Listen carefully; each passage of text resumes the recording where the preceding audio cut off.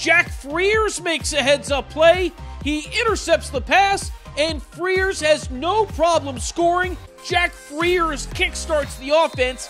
He buries this one right on the fourth. The Maroons force turnover. It's Frers to Schultz on the goal.